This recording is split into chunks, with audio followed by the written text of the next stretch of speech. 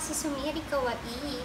Well, this time po, ang mapapanood sa aking vlog ay ang aking mga jumpsuit na nabili at nasuot na. So, ngayon, papakita ko sa inyo, mayroon akong blue, red, black, basta nandun na yung mga color ah.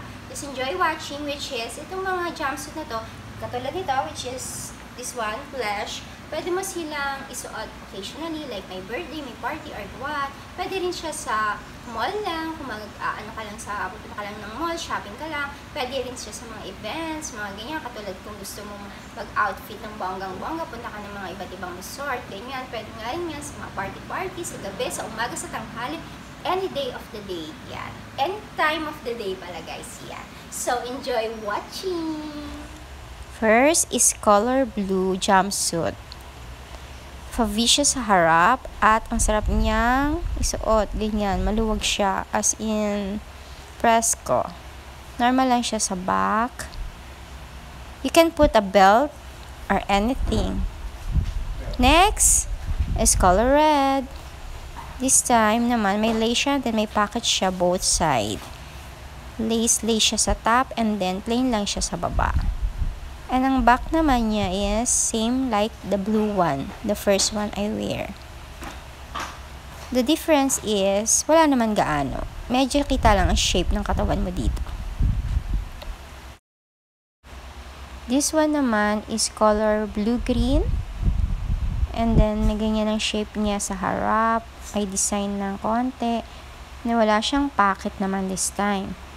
Tapos, ang likod niya is medyo sexy back with a ring, parang necklace back, bucket, backlet. ba yung nasa leeg ko? Ganun yung, hindi siya tinatali. And then, you can pair it with any accessories you want. Tada! Ayan na. Next is a combination of black, red, and white. Sa top, plain black siya. And then sa baba naman is red, white, and black with a slit. As you can see, may slit siya sa kaliwa at sa kanan. Both side. So, sexy siya tingnan. But you can pair it with a jacket or a blazer. Kaya pwede mo siyang pang party-party. Pwede rin siyang formal if you want. Basta ikaw na lang mag-decide kung anong ipipair mo sa kanyang shoes, accessories, or yung pamatong para hindi ka naman gunawin kung saan balak rumampa o gumora. Mm. Next is plain black jumpsuit with a pocket, both side again. Same lang siya ng harap. Yan, layered siya na parang ruffles-ruffles. Ganon din siya sa likod. As you can see, what you can see in front, ganon din siya sa back. Simple like that. This time is a pink one. Hindi lang siya ma-justify ng camera, pero color light pink siya. Parang pink rose, ganun. Ngayon, pwede siyang walang belt, pwede rin may belt. Pero may belt talaga siya. Para naman mas kita yung shape ng katawan mo. And then, favirin yung harap niya sa taas.